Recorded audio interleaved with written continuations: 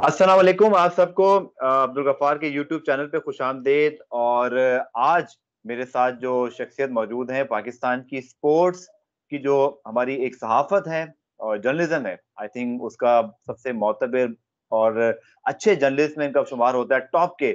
ہم نے بہت سیکھا ہے، نہ صرف as a student of the game یا جرنلزم، لیکن میں نے ہمیشہ ان کو بہت ہی نفیس اور شفیق پایا ہے۔ ہم جب بھی ان سے ملتے ہیں بہت اچھے طریقے سے، بلکہ سیکھا ہے بہت کچھ کہ اگر ہم کبھی سینئرز ہوں گے تو ہمیں ان کی طرح ہونا چاہیے۔ ماجد بھائی کو خوش آمدید کہتے ہیں۔ السلام علیکم ماجد بھائی۔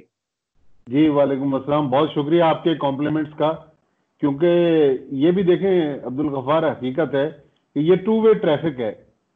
جس طرح آپ سینئرز کی بات کر رہے ہیں جونیئرز میں بھی آپ جیسے کم کم لوگ ہیں جو سینئرز کو اتنی رسپیکٹ دیتے ہیں۔ رسپیکٹ یہ نہیں ہوتی کہ کسی کو کہہ دینا.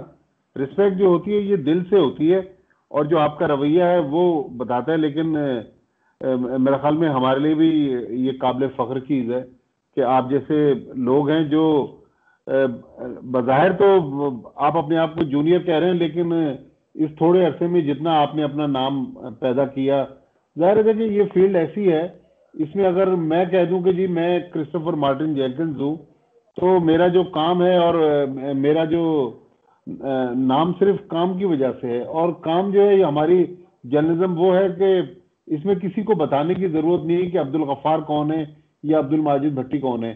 ہمارا جو کام ہے یہی ہماری پہچان ہے۔ تو الحمدللہ کوشش کرتے ہیں، لیکن آج بھی سیکھنے کے مرحلے میں ہیں۔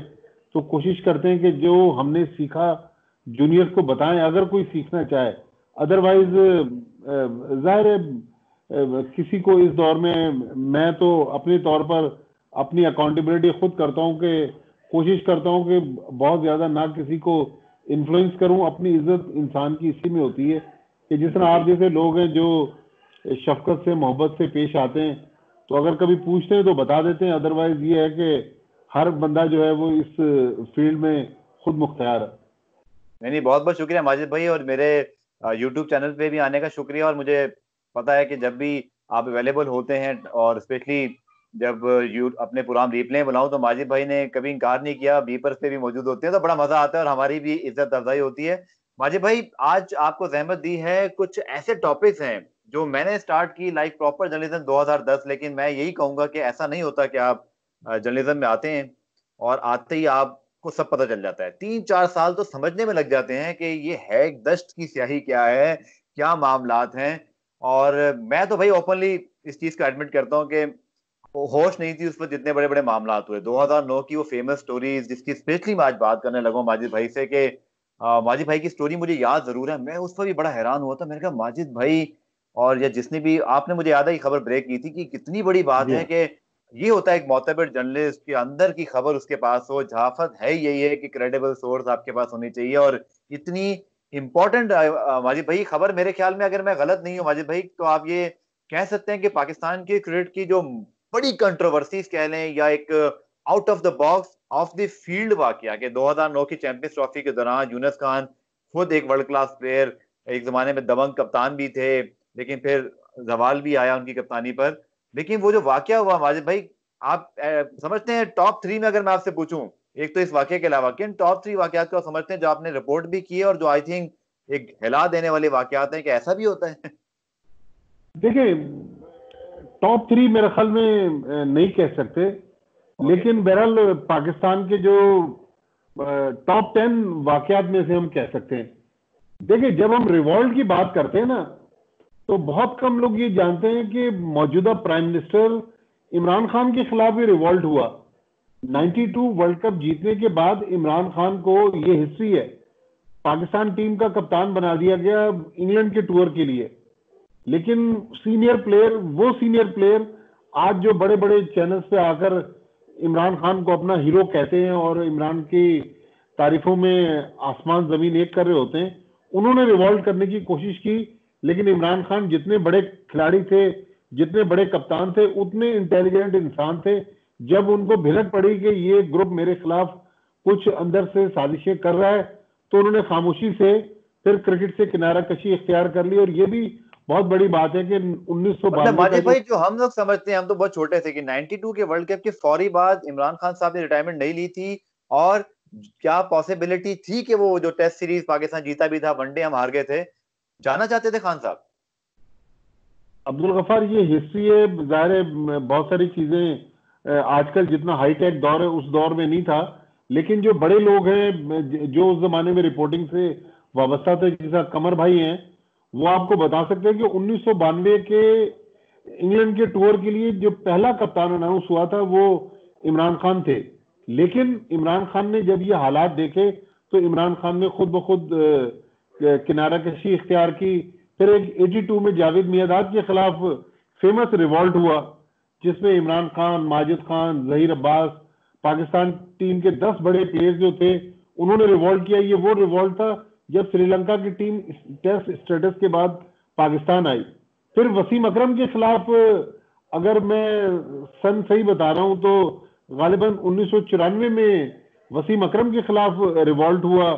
اس وقت بھی پاکستان کے ٹاپ کے پلیئر تھے جنہوں نے وسیم اکرم پاکستان ٹیم نیوزی لینڈ جاری تھی بھائی ایٹی ٹو جاوید میں عداد آبویسلی میری تو پیدائش ہی ایٹی ٹو ہے تو میں آپ بھی اس وقت میں مجھے نہیں پتا آپ اس میں جرنلزم میں تھے کہ نہیں تھے لیکن آپ نہیں تھے۔ لیکن کیا اس کی وجہ کیا بنی تھی؟ اسٹیپ بائی اسٹیپ چلتے ہیں مختصراً کیا وجہ تھی کہ جاوید میں عداد کے خلاف بغاوت ہوئی؟ دیکھیں ہمارے یہاں عبد الغفار ہماری فیلڈ میں بھی ہوتا ہے۔ ہم چھوٹی چھوٹی باتوں پہ ناراض ہو جاتے ہیں کہ میں اس بات پہ ناراض ہو گیا کہ عبد الغفار نے مجھے سلام نہیں کیا۔ کرکٹرز کا مسئلہ جو ہے، یہ ایگو کا مسئلہ ہے۔ جاوید میاداد ایئر مارشل نور خان، پاکستان کی ہسٹری کے سب سے بڑے administrator air marshal Nur Khan نے جونیئر پلیئر جاوید میاداد کو کپتان بنایا۔ عمران خان پر ترجیح دی ظہیر عباس پر ترجیح دی ماجد خان پر ترجیح دی۔ تو یہ جو سینئر سے ان کے ذہن میں یہ تھا کہ یا جو وہ بتاتے ہیں کہ جاوید میاداد کا جو رویہ تھا شاید وہ ان لوگوں کے لیے قابل قبول نہیں تھا۔ تو ایک دو ٹورز کے بعد پاکستان ٹیم جب آسٹریلیا گئی، غالباً اعجاز بٹ اس وقت پاکستان ٹیم کے مینیجر تھے۔ وہاں سے جب واپس آئی تو سری لنکا کی ٹیم ٹیسٹ اسٹیٹس کے بعد پاکستان آ رہی تھی۔ تو یہاں ریوالٹ ہوا اور کراچی میں جو ٹیسٹ میچ ہوا، میں نے وہ ٹیسٹ میچ دیکھا۔ اس ٹیسٹ میچ میں سلیم ملک سلیم یوسف راشد خان طاہر نقاش میرا خیال چھ پاکستان کے پلیئرز تھے جن کا ٹیسٹ ڈیبی ہوا تھا۔ تو اگر آپ کو یاد ہو پچھلے دنوں جب سری لنکا کراچی میں ٹیسٹ کھیلنے آئی ہوئی تھی تو پاکستان کرکٹ بورڈ نے سلیم یوسف اور راشد خان کو آنر بھی کیا تھا۔ تو جی۔ وہاں جاوید اعداد کے خلاف ریوالٹ ہوا تھا اور پاکستان نے بالکل ایک نئی ٹیم اتاری تھی چونکہ سری لنکا کی ٹیم نئی تھی۔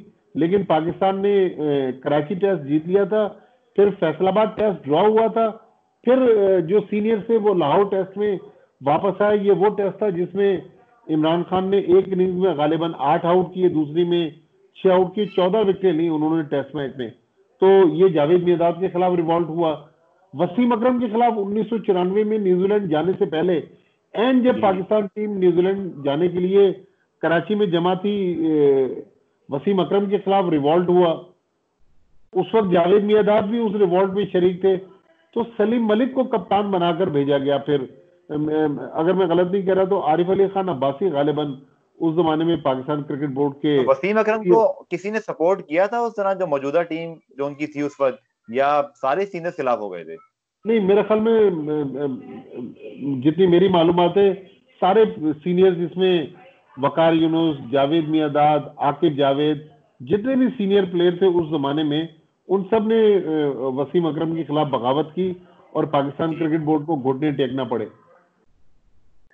نائنٹی ٹو کے ورلڈ کپ میں خان صاحب والی جو ہم نے کچھ پڑھا اس حوالے سے، آپ آج اس کو بالکل آج آپ کو بلانے کا مقصد یہی کہ آج ساری چیزیں جو ہے نا، وہ آپ ہمیں کھل کے بتائیں گے اور ہماری معلومات اور دیکھنے والوں کی بھی کہ نائنٹی ٹو کے ورلڈ کپ کی جیت کے بعد شوکت خانم اسپتال میں فنڈ ریزنگ کے لیے وہ تمام پیسے چلے جانا یہی ایشو بنا تھا؟ جی ہاں دیکھیں عمران خان کے بارے میں تو کوئی سوچ ہی نہیں سکتا نا کہ وہ اس قسم کی بلو دا بیلٹ بات کریں گے۔ لیکن عمران خان کا جو ایک مشن تھا، جس مشن کو وہ لے کے چلے اور وہ مشن تھا شوکت خانم ہاسپٹل وہ بار بار اگر آپ، آج بھی میں نے تو کم از کم سو بار وہ عمران خان کی تقریر سنی ورلڈ کپ جیتنے کے بعد۔ وہ اپنے ہاسپٹل کا ذکر ورلڈ کپ سے پہلے بھی کر رہے تھے ورلڈ کپ کی جیت کے بعد بھی کیا۔ اور جو میں نے اڑتی اڑاتی سنی، مجھے بھی اب ایگزیکٹ اس کی کہانی کا نہیں پتا۔ تو عمران خان چاہتے تھے کہ جو پرائز منی ہے یا جو پیسے ملنے والے تھے، وہ سارے شوکت خانم ہاسپٹل کو چلے جائیں۔ تو یہ جو ڈسپیوٹ کی بیسک وجہ تھی، وہ شوکت خانم ہاسپٹل تھا۔ تو ماجد بھائی، اس کے بعد ہوا کیا تھا پھر؟ کھلاڑیوں کو ملے پیسے؟ کیا ہوا تھا پیسوں کا؟ دیکھیں کھلاڑیوں نے تو پیسے، اپنے پیسے تو نہیں دیے، لیکن عمران خان نے اپنے جتنے بھی پیسے تھے ایون عمران خان کو جو اسلام آباد میں پلاٹ ملا تھا، انہوں نے سب شوکت خانم ہاسپٹل کو دیا۔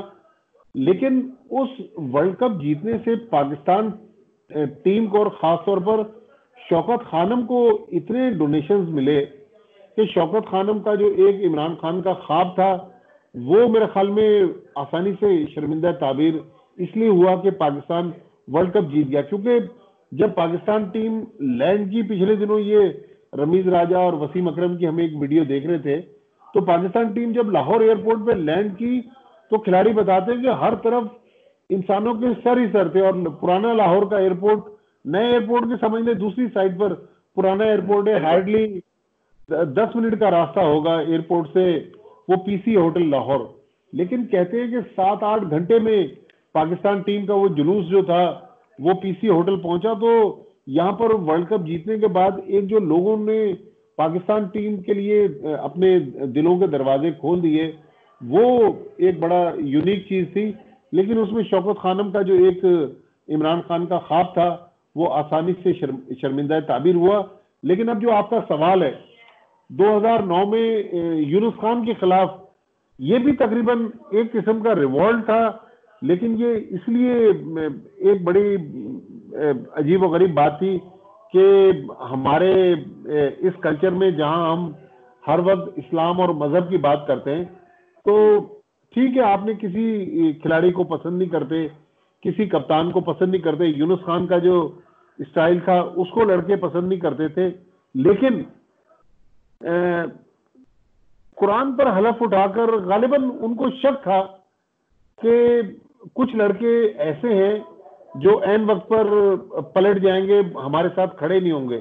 تو انہوں نے کہا کہ یہ جوہانس برگ کے ہوٹل میں ہوا۔ سینٹنسن ہوٹل ہے جوہانس برگ میں۔ کی چیمپئنس ٹرافی کے دوران۔ چیمپئنس ٹرافی میں۔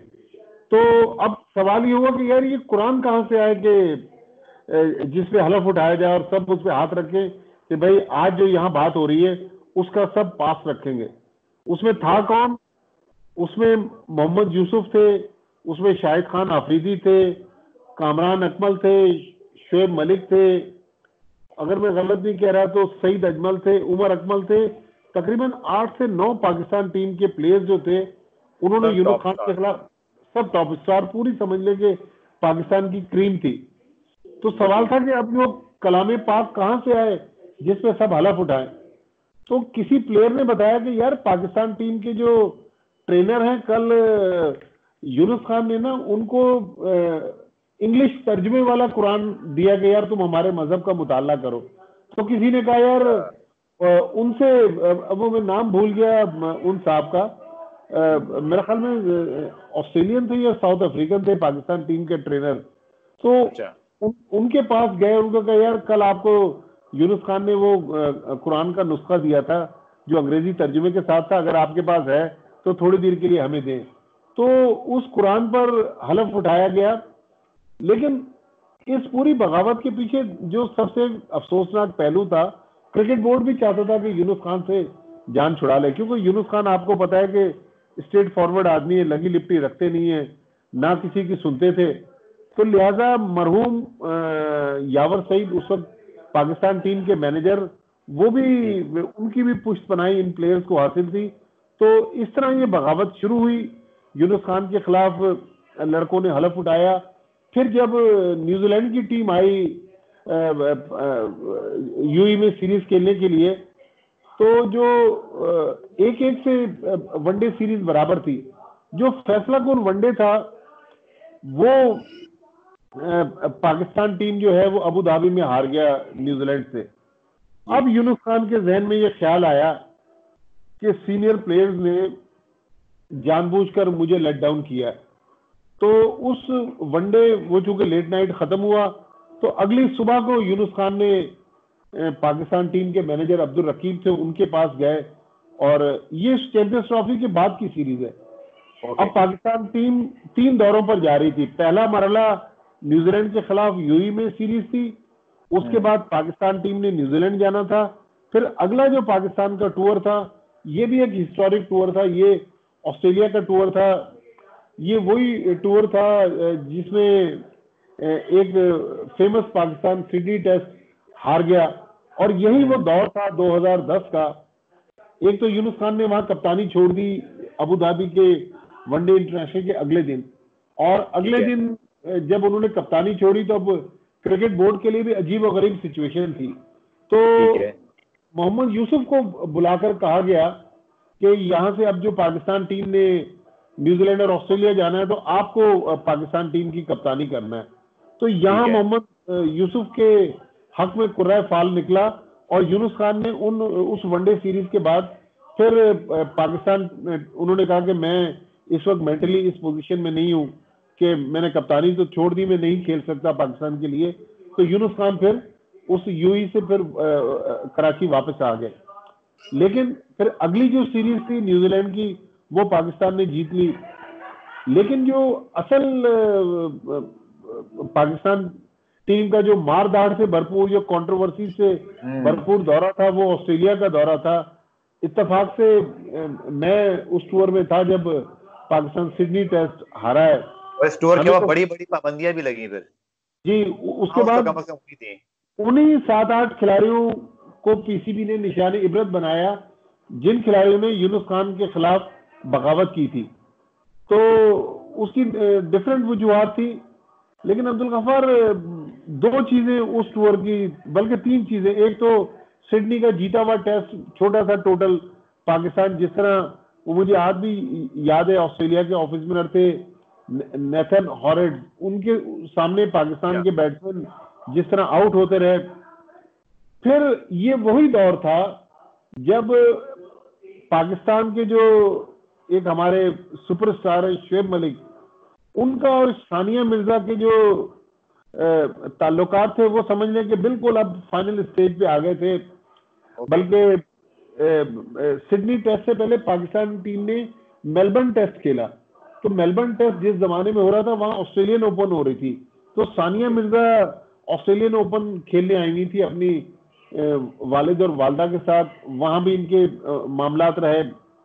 پھر یہ سڈنی ٹیسٹ ہوا۔ سڈنی ٹیسٹ کے بعد پھر جب پاکستان کی ٹیم آخری ٹیسٹ کھیلنے ہوبارٹ گئی، تو ہوبارٹ میں میں ہوبارٹ ٹیسٹ میں بھی موجود تھا۔ یہ وہ ٹیسٹ میچ تھا جس میں سرفراز احمد کا ڈیبیو ہوا۔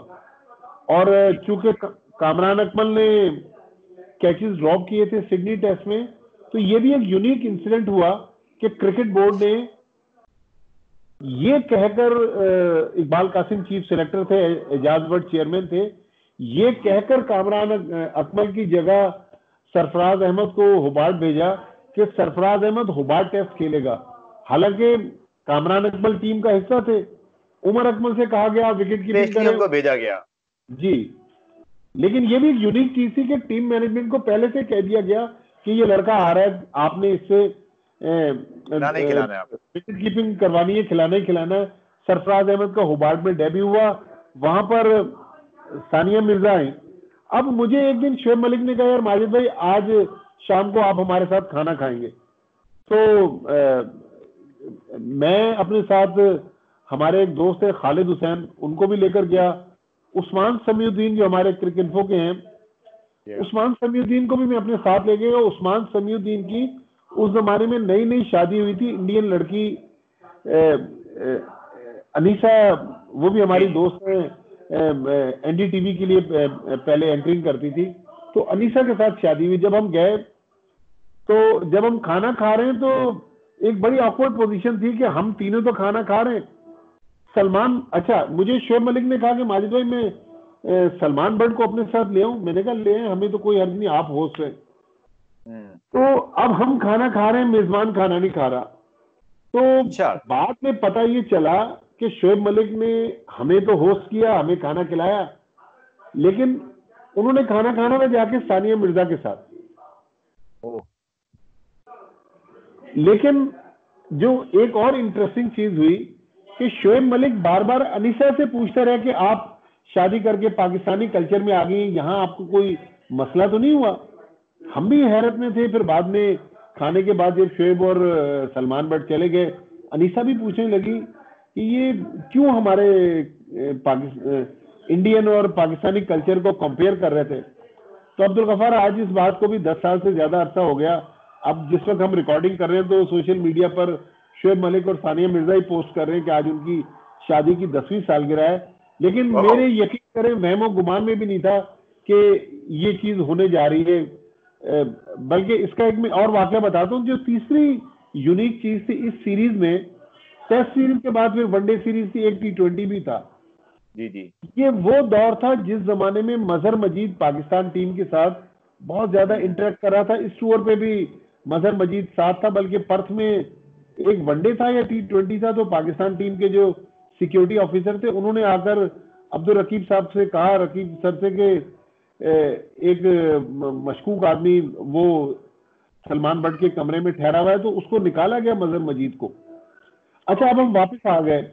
وہ خیر مظہر مجید کا واقعہ بھی ہوا بلکہ اسی سیریز میں وہ شاہد آفریدی نے بال چبائی تھی۔ بال چبائی اور اس کے بعد وہی مسئلہ ہوا۔ یہ بھی مطلب میرے خیال میں میرے خیال میں ماجد بھائی دو ہزار دس کا جو ٹور ہے فل آف نیوز بعد میں اس میں سے اور ایڈونچر اس سے جڑی ہوئی خبریں۔ آئی تھنک اس سے زیادہ ہنگامہ خیز شاید ہی کوئی دورہ ہوا ہوگا جو آپ نے بھی کور کیا ہو۔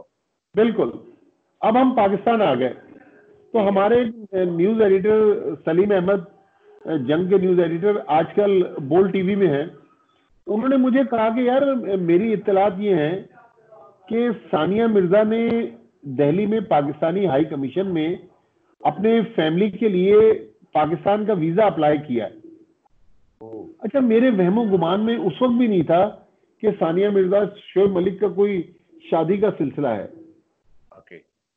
میں یہ سمجھتا رہا کہ شاید کوئی اسپورٹس مینوفیکچرر بہت سارے سیالکوٹ میں کوئی سامان خریدنے ثانیہ مرزا اپنے کوئی بھی ایونٹ ہو سکتا ہے لیکن میرے یقین کریں آج بھی میں ریگریٹ فیل کرتا ہوں کہ ہم بھی بعض دفعہ کہتے ہیں کہ ہم سوچا نہیں اس طرف۔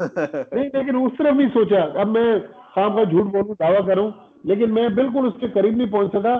پھر جب آسٹریلیا سے ہم واپس آئے تو دو ٹی ٹوینٹی میچز کی سیریز ہوئی پاکستان انگلینڈ کی دبئی میں۔ تو وہاں ثانیہ مرزا کے والد والدہ شعیب ملک کی والدہ اور بہنیں آئے ہوئے تھے۔ وہاں پر یہ ساری شادی کے معاملات طے پائے۔ لیکن یہ بھی ہمیں بعد میں پتا چلا، لیکن ہمارے وہم و گمان میں بھی نہیں تھا کہ دو بڑے اسٹار جو ہیں شادی کے بندھن میں بننے والے ہیں۔ لیکن یہ سٹوری پھر ہمارے لاہور کے دوستوں نے بریک کی۔ ہمارے پاس یہ سٹوری نہیں تھی۔ لیکن یہ اتنی غیر متوقع سٹوری تھی۔ مجھے آج بھی یاد ہے کہ ہمارے جو سہیل عمران ہیں، حالانکہ سہیل عمران بڑے باخبر اور بڑے زبردست رپورٹر ہیں۔ سہیل عمران ہمارے جیو کے آفس کو بتا رہے ہیں کہ ثانیہ مرزا اور شیب ملک کی شادی ہونے جا رہی ہے۔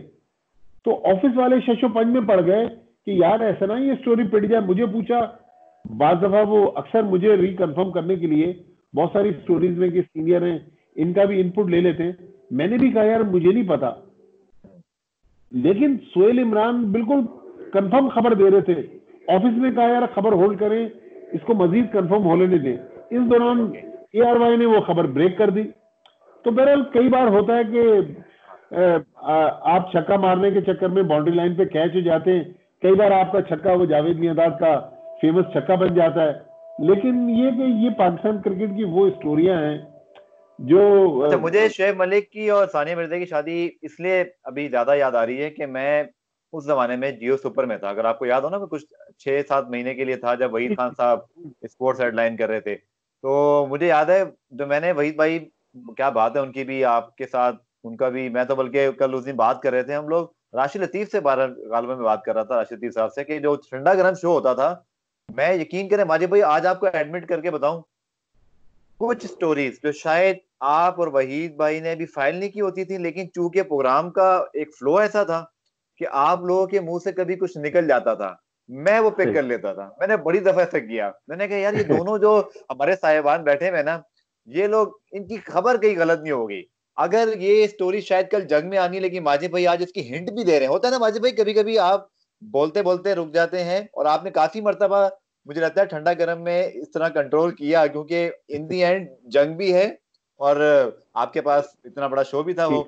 میں نے اس زمانے میں جب کام کیا تو میری بڑے دوڑے لگی تھی مجھے یاد ہے کہ ادھر کور کر رہے ہیں ادھر کور کر رہے ہیں۔ پھر ایک بڑا اچھا آئیڈیا دیا تھا مجھے وحید خان صاحب نے کہ حیدرآباد دکن سے چونکہ تعلق ہے ثانیہ مرزا صاحبہ کا تو حیدرآباد کالونی ہے جہاں وہ بڑے مزیدار قسم کے کھانے چٹنیاں مربے ہاں جی۔ ملتے ہیں۔ تو میں نے جا کے اپنی جو پہلی رپورٹ کی تھی جیو سپر پہ وہ یہی تھی کہ میں وہاں گیا تھا ان لوگوں نے کہا تھا یار کہ بھابھی جہاں سے آ رہی ہیں ہم ان کو ویلکم کرتے ہیں۔ وہ بڑی دلچسپ اس میں دم کیا ہوا قیمہ بلکہ ابھی منہ میں پانی آ رہا ہے آج کل بہت عرصہ ہو گیا باہر کے کھانے نہیں کھائے۔ تو وہ حیدرآباد جو ہماری کالونی ہے یہ اس کے آپ کو پتا ہے کھانے کتنے مشہور ہیں۔ تو وہ اس کا مزہ بڑا آتا تھا۔ چلے بھائی آپ گھر پہ زیادہ ٹائم گزارے تو بھابھی کے پکے ہوئے کھانے بھی کھائیں۔ ہاں نہیں نہیں سر وہ میں سیکھ رہا ہوں لیکن میں نے دو تین کھانوں کے بعد ہاتھ روک لیا۔ میں نے کہا ایسا نہ کہ زیادہ ہی بنانے پڑ جائیں۔ اچھا اب لاسٹ اس میں شعیب ملک کے ہاں۔ چونکہ آج ان کی دسویں سالگرہ شادی کی اب شعیب ملک بامبے سے شعیب ملک اور ثانیہ مرزا شادی کر کے کراچی آ گئے۔ اب کسی کو کچھ پتا نہیں ہے کہ شعیب ملک نے کہاں جانا ہے۔ تو جیو نے تین بکنگز کروائی۔ ایک کراچی، لاہور۔ تین فلائٹیں تھی ایک ہی وقت میں۔ ایک کراچی، لاہور، ایک کراچی، سیالکوٹ، ایک کراچی، اسلام آباد۔ تو جو ایس او پی تھے وہ یہی طے تھے کہ جس فلائٹ پہ یہ جوڑا بیٹھے گا، میں نے اس فلائٹ پہ جانا ہے اور شعیب ملک کا انٹرویو کرنا ہے۔ تو یہ مرحوم ولی بابر بھی، ایک بکنگ ولی بابر کے نام پہ بھی تھی۔ اتفاق سے میرے نام پہ جو بکنگ تھی، وہ کراچی اسلام آباد کی تھی اور اسی فلائٹ پر وہ دونوں بیٹھے۔ تو پی آئی اے کی فلائٹ تھی، جیسے ہی کراچی سے ٹیک آف کیا، میں، کراچی میں جو ہمارے ایک پی آئی اے میں جاننے والے دوست تھے انہوں نے مجھے کہا کہ یار میں آپ کو ثانیہ اور شعیب ملک کے سامنے والی سیٹ دیتا ہوں۔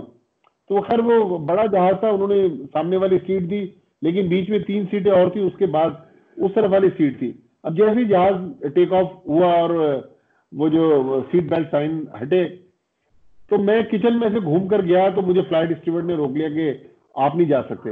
میں نے کہا، یار آپ آگے سے ہٹیں، میں صرف شعیب ملک کے سامنے آتا ہوں، اگر وہ مجھے دیکھے گا تو آ جائے گا، اگر نہیں آیا تو میں چلا جاؤں گا، اس نے کہا ٹھیک ہے۔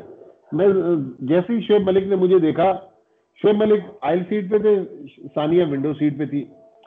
تو شعیب ملک کو میں نے اشارہ کیا، وہ اٹھ کے آ گئے۔ لیکن شعیب ملک میں کوالٹی ہے کہ بڑوں کی ریسپیکٹ کرتے ہیں۔ تو شعیب ملک اٹھ کے آ گئے۔ تو میں نے ان سے کہا کہ یار، عزت کا سوال ہے انٹرویو کرنا ہے اور اس فلائٹ پہ میں بیٹھا اس لیے ہوں۔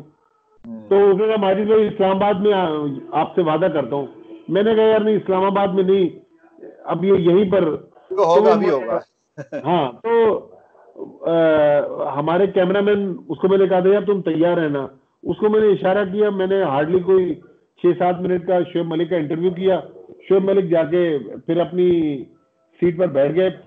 جیسے ہی اسلام آباد ایئرپورٹ پہ جہاز لینڈ کیا پرانا اسلام آباد کا ایئرپورٹ تھا جی، جی۔ سیڑھی لگی تو دروازے کے پاس ہی وہ مرسڈیز گاڑی ہے جس میں ثانیہ شب بیٹھ کے گئے اور اس کے بعد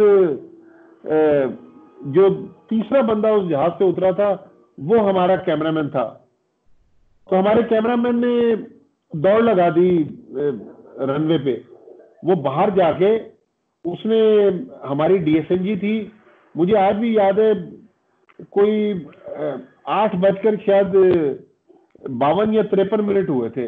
ڈی ایس این جی پہ جا کے اس نے نو بجے کی ٹاپ سٹوری مل گئی۔ نو بجے سے بھی پہلے ہیڈ لائن بھی انہوں نے روک لی۔ ہیڈ لائن سے پہلے شعیب ملک کا انٹرویو اور وہ یونیک انٹرویو اس لیے تھا کہ جب کراچی میں آئے تھے شعیب ملک نے کسی کو انٹرویو نہیں دیا تھا۔ لیکن مسئلہ وہی عبد الغفار کے و منتشا و ذل و منتشا کے اللہ تعالیٰ عزت دینے والا ہے۔ لیکن آپ ہیڈ ڈاؤن کر کے کام کریں، اللہ تعالیٰ بھی انسان کو عزت دیتا ہے۔ تو بس یہ وہ چھوٹی سی، تین چار اسٹوریاں تھیں جو اس سیشن میں میں نے آپ سے شیئر کی۔ نہیں بہت بہت شکریہ۔ آخر میں جو دو ہزار دس کے بعد ماجد بھائی ایک آخری بس اسٹوری رہ گئی کہ جب وہ پابندیاں لگیں، مجھے یاد ہے کہ وہ پریس ریلیز جب آیا تھا، ماجد بھائی، آپ کو یا جو جرنلسٹ ہماری کمیونٹی جو کہ بات تو آپس میں ہوتی رہتی ہے، آپ اور جتنے سینئرز ہیں، ماشاءاللہ میں دیکھتا ہوں، بڑی اچھی آپ لوگ کی اب تک دوستی ہے، پرانی دوستی ہیں، کچھ ہم ساتھ بھی بیٹھے ہیں۔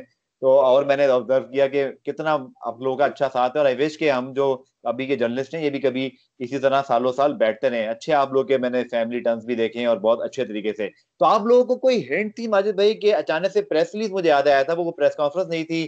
اور میجورٹی جو اس کی ڈیسیجن میکنگ تھی وہ پریس ریلیز میں تھا کہ اس پہ اتنی پابندی اتنی پابندی، وہ کیا سین تھا ماجد بھائی؟ اور کتنے کیا وہ انسپیکٹڈ تھا یا لاوا پکڑا تھا اور وہ پھٹا پھر؟ دیکھیں، اعجاز بٹ کو اس میں ہم کریڈٹ دیتے ہیں کہ اگر اعجاز بٹ چیئرمین نہ ہوتے تو اور کسی چیئرمین میں ہمت نہیں تھی کہ اتنے بڑے بڑے کھلاڑیوں کو، جس میں شاہد آفریدی بھی تھے، شعیب ملک بھی تھے ایون یونس خان پہ پابندی لگی اور یونس خان کو کوئی ڈیڑھ پونے دو سال رگڑا دیا پی سی بی نے۔ یونس خان جاتے رہے ہیرنگ میں یونس خان کو انہوں نے آنے نہیں دیا کرکٹ میں۔ ہاں۔ اتنا تو پتا تھا کہ جو مینیجر تھے عبد الرقیب ان سے کہا گیا کہ بھئی آپ نے دیانتداری پر مبنی جو کچھ ہے اس رپورٹ میں آپ بتا دیں۔ واجب بھائی یہ وہی میٹنگز ہے نا جو بعد میں مجھے یاد پڑتا ہے کہ جیو سپر پہ اور جیو پہ وحید خان صاحب نے وہ ویڈیو ان کے جی پاس کہیں سے آئی تھی۔ جی ہاں بالکل بالکل۔ لیکن یہ کسی کے وہم و گمان میں بھی نہیں تھا کہ کرکٹ بورڈ جو ہے وہ اتنا ہارش ڈیسیشن لے گا۔ دیکھیں ہمارے ملک میں اس زمانے میں جب اعجاز بٹ چیئرمین تھے تو ٹی وی پروگرام میں جو یہ کامیڈی شوز ہوتے ہیں اعجاز بٹ کی مختلف پیروڈیز بھی چلاتے تھے ان کے بارے میں میڈیا بھی مذاق اڑاتا تھا۔ لیکن دیکھیں اب بیچارے بیمار ہیں بستر پہ ہیں کہتے ہیں کہ ان کی یادداشت بھی نہیں ہے۔ لیکن اعجاز بٹ نے اس زمانے میں جتنی بڑے فیصلے کیے بس ان سے ایک وہ اسپاٹ فکسنگ والے واقعے میں وہ شعیب وہ سلمان بٹ آصف اور عامر کی زبان پر اعتبار کر گئے۔ لیکن اس کے علاوہ آپ دو ہزار گیارہ کا ورلڈ کپ ہو، اتنا آئی سی سی والے اعجاز بٹ سے ڈرتے تھے، کہتے تھے، یار، یہ ہر وقت جیب میں لیگل نوٹس لے کے چلتے ہیں۔ جہاں آئی سی سی والے کو گڑبڑ کرتے وہیں سائن کیا کہ یہ ہماری طرف سے لیگل نوٹس ہے۔ تو بہرحال اعجاز بٹ کی مین مینجمنٹ کی جو کوالٹیز تھیں، اس میں بہت بڑا ہاتھ تھا کہ انہوں نے دو تین پلیئرز کو تو ایٹ لیسٹ سیدھا کر دیا، ان فیصلوں کے بعد۔ اور پابندی لیکن جتنی ماجد بھائی اناؤنس ہوئی تھی کوئکلی اگر آپ آخر میں اس کو آپ کی یاداشت میں ہوگا وہ پھر اتنا عمل ہوا نہیں تھا پھر واپسی کس طرح ہوئی؟ پیچ اپ ہوا؟ بس وہ یہ کہ جس کا جتنا تعلق تھا وہ اپنے تعلق کو یوز کر کے پاکستان ٹیم میں ایک ایک کر کے سب واپس آ گئے۔ اور کسی کا کچھ نہیں بگڑا۔ یونس خان میرا خیال میں متاثر رہے ہوئے اس میں۔ یونس خان کو پی سی بی نے کافی ڈیڑھ پونے دو سال بعد پھر ان سے پابندی اٹھائی ہے لیکن باقیوں پر تو چند مہینوں کے بعد ایک ایک کر کے سب پہ پابندی اٹھ گئی۔ ٹھیک ٹھیک۔ چلے ماجد بھائی، آپ کا بہت بہت شکریہ۔ اور یقین طور پر یہ جو سیشن ہے نا، اس نے مجھے تو بہت ہی ایجوکیٹ کیا ہے اور میرے پاس بہت ساری، کیونکہ فرسٹ ہینڈ انفارمیشن آپ نے دورہ کیا ہے، آپ خود موجود تھے، تو آپ سے زیادہ بہتر نہ کسی نے رپورٹ کیا اور نہ ہی فٹنس ہے، تو میں نے انجوائے بھی بہت کیا۔ اور مجھے پوری امید ہے کہ جو لوگ آج دیکھ رہے ہیں نا، جو ادھر ادھر کی کبھی چیز آتی تھی، آج انہوں نے پورا قصے یہ پراپرلی اچھے طریقے سے ڈیٹیل سے سن لی اور ان کو بھی مزہ بھی آئے گا تو ان کی معلومات میں اضافہ ہوا ہے۔ چلیں امید ہے کہ آپ کے جو دیکھنے والے ہیں، ان کو یہ ہماری گفتگو جو ہے وہ پسند آئے گی۔ بس کوشش کی کہ جتنی ہماری معلومات تھی، وہ آپ سے شیئر کر دیں۔ تو امید ہے کہ یہ جو ہمارا آدھے گھنٹے کا چالیس منٹ کا سیشن تھا اس میں وہ کہانیاں بتائیں جو پاکستان کرکٹ کی بہرحال حقائق تو ہیں، لیکن تلخ حقائق بالکل ٹھیک ہے ماجد بھائی بہت بہت شکریہ انشاءاللہ دوبارہ جب موقع ملا تو آپ کو رحمت دیں گے۔ اور جو دیکھ رہے تھے آپ سب کا بھی بہت بہت شکریہ۔ اپنا فیڈ بیک ضرور دیجیے گا۔ ماجد بھائی نے جو اسٹوریز بیان کی اس پر آپ کی کیا کمنٹس ہیں؟ یا آپ نے قصوں کو جب سنا تو کتنا انجوائے کیا؟ یا آپ کتنے حیران ہوئے یا پریشان بھی ہوئے؟ یہ ضرور بتائیے گا اپنے کمنٹس میں۔ آپ سب کا بہت بہت شکریہ۔ اللہ حافظ۔